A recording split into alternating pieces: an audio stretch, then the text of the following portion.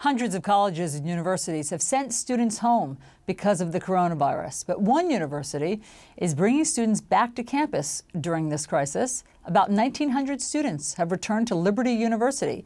That's a private evangelical Christian university in Lynchburg, Virginia. There is still a statewide ban in effect there on gatherings of more than 10 people. Joining us now is Jerry Falwell Jr. He is the president of Liberty University. President Falwell, thank you for being here. So just explain the thinking here that as we see the cases spiking, the number of deaths spiking, what's what's the rush? Why have students come back to campus in the middle of this? First of all, most of the press reports have been false. Liberty did not reopen. Liberty has between 1,000 and 2,000 students on a campus built for 15,500, and almost 1,000 of those are international students who have nowhere else to go.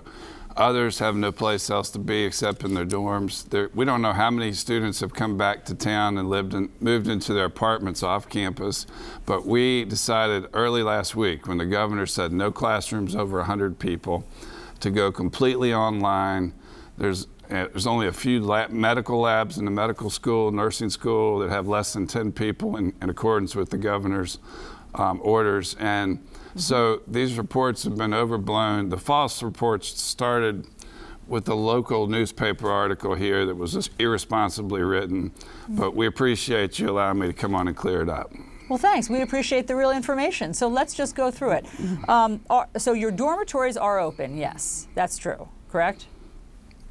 Dormitories. Yeah, Liberty has become the campus has become more like a an apartment complex than a university. All the education is being done online. All the restaurants are serving takeout only. We're uh, wiping down every surface that's touched off on every hour. We uh, have extra police, extra. We, have really, you know, we, we are we're very unique in that we started external education back in 1985. Yeah. And so we, by by 2000 it was all online we've become one of the largest online universities in the country so we okay. were we felt like but, we had a we felt like we had a responsibility as a christian university to make education available to as many as possible yeah. online throughout this crisis because there are going to be pandemics like this in the future and i think Understood. it's the only way to do it safely yeah, I mean, obviously, uh, so many of our kids are now doing e learning because of all of this. But I just want to be clear. So, quickly, is your library open? The academic buildings are open, but there's signs on every other chair. Do not sit here. Keep keep distance between you, the person next to you. In the computer labs, only every third computer works, so they don't sit mm. next to each other. So we've we've the Department, Virginia Department of Health did, did an inspection, and the boss um, sent a message. He said he wanted to talk to someone about the fantastic infection prevention practices our health inspectors observed while on your campus today. We got that message yesterday. So we, we spent all last week and hours and hours and hours of meetings with my whole staff, making sure that the few that did come back to campus, and yep. it looks like a ghost town. It looks like a ghost town. The reason some of them are leaving now to go back and study at home is because there's yeah. none of their friends are here. Understood. So a lot uh, of a lot of places look like a ghost town. But I, I just want to be clear on your message because. I don't know that it's getting out to your professors, or at least some of them, as well as the mayor. So, as you probably know, one of your English professors uh, Mary Beth Baggett, says that she believes that you're still putting faculty, herself included, and students in danger because she says that you still are asking them to hold office hours. Is that true? No. She and her husband are good friends. They're both faculty members. I've been in contact with them the last couple days. She wrote that op ed last week before she knew what all the practices. Everybody was on spring break when she wrote that. So she had no idea what the final decisions were going to be. Those decisions were made yesterday. All faculty are teaching from home with something called Microsoft Teams, where they can put every student on a little square box on a TV screen on their computer. Every student can talk to each other, have, have discussions, and and the uh, office hours that were required before spring break are now optional for professors. They can do all their conferences with students by phone, and that decision was just made yesterday. So Okay, good everybody, everything, every, everything was in a fluid situation all week. The governor's orders were changing, and so we didn't, we were not able to get all the messaging out until. Um, towards the end of the weekend, so she didn't do anything wrong. She just didn't have information, and the mayor, Okay.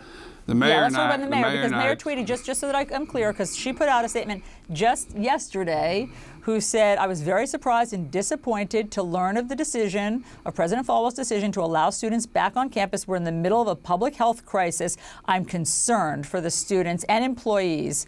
So, what's your message to her? And she also and she and she also said in that message that when she and I spoke early last week, that sh I told her the dorms would be open because we have so many international students. I never told her it would be closed to anyone else. We didn't have many show up, and we're, we're you know that's their choice. The students decide whether they want to be here or study at home, and so she's she, she's wishing they weren't here but we really, you know, who knows how many came back to live in their apartments off campus. We really don't have control over it, but but what we can do is make sure that they're safe when they're here. And uh, that's what we that's what we've done. But she and I are friends. We just um, she she I think the city manager made a statement yesterday that yes, I told her we were going all online. They were thrilled. They issued a statement thanking Liberty for doing that early last week. But she said you Yeah. you made us think the dorms were going to be closed. But I said no because I told you about the international students. So misunderstanding between people who are good friends. I have greatest Okay. respect for both the city manager and the mayor. Good to know. We appreciate that clarification. Now to churches. Are you encouraging people to still go to church and fill fill churches during this time? Uh, you know, I'm sure you heard the president yesterday say that he's hoping at Easter churches are packed. You know, I'm not a pastor. Uh, my brother is, and he's doing all his services online. He's, he sent out a message uh, this weekend asking families to gather around their computers and watch the service. And um, I think that's what most churches are doing. And I, um, I think we, I, I just don't think we can take this thing too seriously. It's, it's, uh, it's something we don't understand. It's, it's something, you know, the H1N1 virus back in 2009 had 300,000 Americans in the hospital, 60 million had contracted the virus, 17,000 died. But we didn't see the response back then that we've seen from President Trump and from the media. And so I think we're taking So- I think we're taking this one a lot more seriously and I'm glad we are. You're glad we're taking this one seriously. You don't think we're taking it too seriously. I, I'm glad we're taking it a lot more seriously than we did H1N1 because that one was arguably in the same ballpark as far as how severe it was. A lot more mean, I- deaths, but I don't know.